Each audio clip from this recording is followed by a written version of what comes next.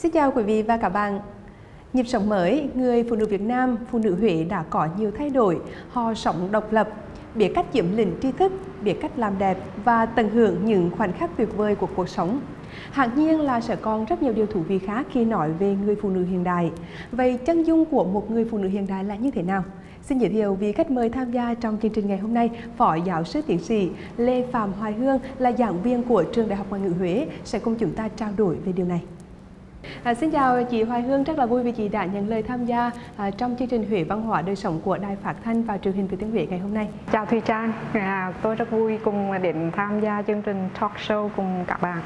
Có rất nhiều quan điểm cũng như là những khẳng định về hình ảnh của một người phụ nữ trong cuộc sống hiện đại. Vậy theo chị, phụ nữ hiện đại là một người phụ nữ như thế nào ạ? Theo tôi thì à, hiện đại hay truyền thống thì phụ nữ vẫn là biểu tượng của sự dịu dàng, sự mềm dẻo À, của phái nữ.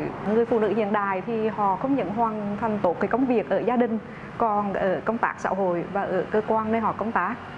Họ sẽ có cách giao tiếp tự tin hơn và linh hoạt hơn trong những cái hoàn cảnh khác nhau. À, họ biết cách để chăm sóc bản thân. À, ngoài ra thì tôi nghĩ cái phẩm chất mà người phụ nữ hiện đại luôn luôn hướng đến đó là sự tự tin tự chủ và họ dám nghĩ dám làm để vượt lên những cái định kiến xã hội về giới và họ dám mơ ước để à, thành công với những mơ ước của mình. Đã từng du học ở nước ngoài thì à, chị thấy có sự khác biệt như thế nào về người phụ nữ hiện đại của các nước phương Tây và người phụ nữ hiện đại của Việt Nam ạ? Tôi thấy là có khá nhiều khác biệt à, giữa phụ nữ hiện đại của phương Tây và phụ nữ hiện đại Việt Nam. Tôi đơn cử một ví dụ, à, thỉnh thoảng thì chúng ta bắt gặp một hình ảnh à, những cái phụ nữ phương Tây họ đi du lịch bùi ở Việt Nam, họ cầm trên vai một cái ba lô thật là to họ đi rất là nhanh nhìn họ với một thân thái rất là tích cực. Giữa trời nắng nóng họ vẫn đi về à, như vậy. Điều này là thể hiện một cái tinh thần gọi là tự chủ độc lập à, thích khám phá thích phiêu lưu mạo hiểm. Thì điều này nó khác biệt à, so với phụ nữ à, hiện đại Việt Nam. Có một số cơ hội để đi học tập và nghiên cứu ở một số nước ví dụ như Hoa Kỳ, New Zealand và một số nước khác. Điều làm tôi thích thú đó là à, phụ nữ ở phương Tây họ luôn luôn được đánh giá cao họ được trân trọng và hơn thế nữa họ lại được quyền ưu tiên À, với Thùy Trang thì à, Thùy Trang rất là thích à, lối sống tích cực, thoải mái và đầy năng lượng. Và nhiều người nói rằng người phụ nữ hiện đại là người phụ nữ phải biết duy trì năng lượng tích cực của bản thân. Chị nghĩ như thế nào về điều này? Mình cho rằng năng lượng mà chính xác hơn là năng lượng tích cực là rất cần thiết đối với cuộc sống với bất kỳ ai và phụ nữ lại càng quan trọng hơn. Nó giúp cho à, chúng ta có một cơ thể khỏe mạnh, một tinh thần minh mẫn hơn thế là có một cái thân thái vui tươi. Vậy câu hỏi đặt ra là làm thế nào để có cái năng lượng tích cực đó? À, riêng đối với bản thân tôi thì tôi à, nghĩ là gần gũi với thiên nhiên du lịch đó đấy rồi à, tham gia vào thể dục rồi thiền và yoga đã mang lại cho tôi một nguồn năng lượng tích cực. Thưa quý vị, người phụ nữ dù ở bất cứ vị trí nào trong xã hội thì họ vẫn luôn cố gắng để học tập, làm việc và nỗ lực hết mình vì chính tương lai và cuộc sống của bản thân mình gia đình, sức khỏe, sắc đẹp và sự tự tin chưa hẳn là tất cả những điều mà chúng ta có thể nhìn thấy ở một người phụ nữ hiện đại. À, và bây giờ à, xin mời à, chị Hoài Hương cùng quý vị khán giả cùng đến với một vài chia sẻ ngắn sau đây. Người phụ nữ hiện đại thời nay có, so với thời trước là có rất nhiều cái sự khác biệt. Thứ nhất là người ta có những cái uh, kiến thức, uh, có cái sự năng động trong cuộc sống thì họ muốn khẳng định bản thân họ qua công việc. Nhưng bên cạnh đó thì họ không thể nào quên cái vai trò họ là người phụ nữ là người giữ ấm trong gia đình cũng là người vợ là người mẹ luôn luôn cũng phải là biết chăm sóc gia đình ạ. Bây giờ người phụ nữ cũng có thể gọi là xứng tâm cũng ngang tâm với là phải mạnh cũng là cũng là làm việc và cũng là biết là, là tạo hạnh phúc cho mình chứ không giống như phụ nữ truyền thống ngày xưa. Là phụ nữ truyền thống ngày xưa là cam chịu nhiều hơn nhưng bây giờ là phụ nữ hiện đại là biết ờ, mình vươn lên tự mình vươn lên à, về về cả tri thức và sắc đẹp. Mình nghĩ là người phụ nữ nên có sự cân bằng giữa công việc này, về bản thân mình và gia đình. Người phụ nữ hiện đại bây giờ là họ rất là tự tin năng động và tận hưởng cuộc sống của ừ, chính bản thân mình.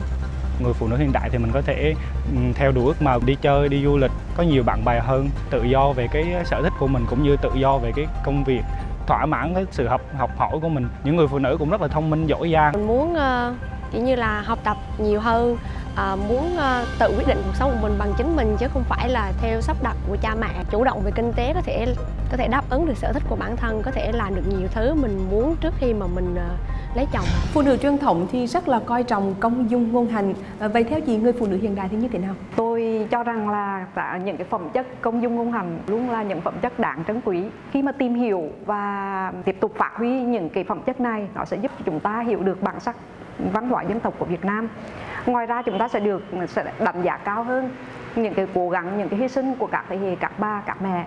Và từ đó chúng ta phát huy tiếp tục những phẩm chất này. Trong thời đại hiện đại thì phụ nữ cần bắt nhịp với cuộc sống mới và họ sẽ có thêm những phẩm chất khác đó là sự tự tin, tự chủ và họ làm chủ bản thân mình. Ngoài những công việc hàng ngày thì họ phải biết cách để tự làm đẹp bản thân, yêu bản thân mình hơn. Cả đó cũng là một yếu tố rất quan trọng đi du lịch hoặc để mở mang kiến thức, biết tham gia vào công tác xã hội để giúp ích ờ, hơn cho xã hội ở những phương diện khác. Chúng ta không những là chỉ là công dung ngôn hành ở trong một gia đình mà còn ở công tác xã hội bởi vì cái khả năng giao tiếp để thu hút cái sự chú ý của à, đối tác hay là ở nơi làm việc thì đó là một điều quan trọng. Ờ, ở, giao tiếp không những là ở chỉ ngôn ngữ của à, tiếng mẹ đẻ mà ở cái phương diện là một giáo viên ngoại ngữ thì tôi nghĩ là sự giao tiếp bằng cái ngôn ngữ tiếng nước ngoài cũng là một điều rất cần thiết. Phụ nữ hiện đại cần có ba điều đó là hạnh phúc thành công và nhan sắc. Chị nghĩ như thế nào về à, những cái quan niệm này ạ? Những yếu tố này rất là quan trọng. Nhưng mà cái nghịch lý là không phải ai cũng may mắn để có tất cả những yếu tố này. Nhưng mà chắc chắn rằng tôi đồng ý với Thùy Trang đó là ai cũng muốn hướng đến cả ba yếu tố này. Đã nói đến phụ nữ thì người ta nghĩ ngay đến là phải đẹp. Mà phải đẹp thì như chúng ta hàng nói là không có phụ nữ xấu, chỉ có phụ nữ không biết làm đẹp thì ngày nay phụ nữ hiện đại thì họ sẽ có rất là nhiều cách để tự làm đẹp bản thân mình. Cái đẹp không những ở bên ngoài mà cái đẹp ở tâm hồn ở bên trong. Cái đẹp của tri thức, cái đẹp của sự hiểu biết.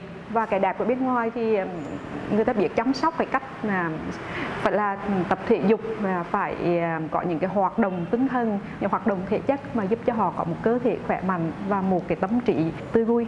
Riêng à, đối với tôi thì cái người phụ nữ mà hạnh phúc đó là họ đạt được những cái gì mà mình có thể mong muốn thực hiện được. Cái sự hạnh phúc ở đây nó gắn bó giữa cái hạnh phúc của gia đình và cái sự thoải mái với cái công việc tự tin với công việc mình làm. Sự thành công thì được đánh giá ở nhiều khía cạnh. À, thông thường khi người ta nghĩ đến thành công thì người ta nghĩ đến thành công ở công việc.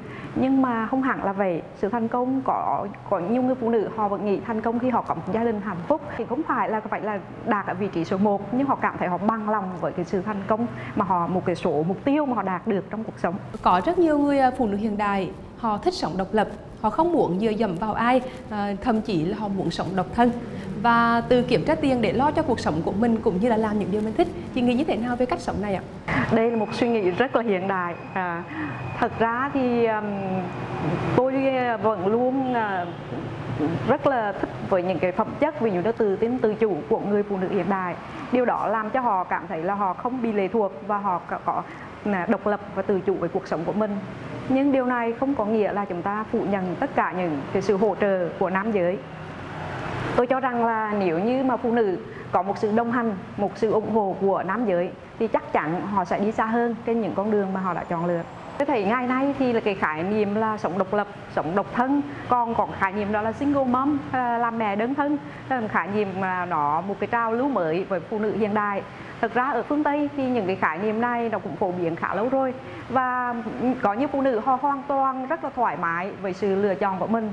Họ vẫn thành công, họ vẫn có một công việc tốt, họ vẫn nuôi nấng con cái ở cái vị trí là mẹ đơn thân rất tốt. Vậy đó là một sự chọn lựa của phụ nữ và mình không ai có thể có quyền ngăn cấm cái sự chọn lựa đó tôi nghĩ dù chọn lựa thế nào nữa, nếu họ thành công với một cương vị đó thì chúng ta cũng nên đánh giá những cái sự thành công của họ. Một người phụ nữ ờ, mà hiện đại là một người phụ nữ biết tự tìm hạnh phúc cho mình. Và để mà tìm được ờ, hạnh phúc cho mình đó thì người phụ nữ phải hướng đến ờ, là trí thức và sắc đẹp một người phụ nữ hiện đại có lối sống thoải mái có thể tư duy cao và có thể tự lập về cuộc sống của mình không phải gò bó vào chồng hay là gia đình hay là không bị phân tán bởi xã hội. Dù là hiện đại như thế nào thì vấn đề phụ nữ Việt Nam hiện giờ là vẫn là ai cũng quan tâm đến gia đình hết cả. Mình thích nhất người phụ nữ có một cái trí thức biết vượt qua những khó khăn. Họ tự lập trong cuộc sống về cả ý, suy nghĩ ý thức và cả tài chính phụ nữ hiện đại thì ngày nay cũng không nên quên những cái đạo đức thời xưa mà ông ta cha để để lại như là công dung ngôn hạnh dù hiện đại nhưng mà mình cũng phải biết kết hợp với truyền thống Vâng, hiểu rõ bản thân, làm chủ cuộc sống, đó là những điều mà người phụ nữ hiện đại nên làm để bản thân hạnh phúc mỗi ngày. Một lần nữa thì Trang xin cảm ơn những à, chia sẻ của Phó Giáo sư Tiến sĩ Lê Phạm Hoài Hương à, trong chương trình Huế Văn hóa đời sống ngày hôm nay và cũng xin à, chúc chị sẽ luôn có thật nhiều sức khỏe cũng như nhiều niềm vui trong cuộc sống. Cảm ơn Thùy Trang. Xin chào khán giả TVP.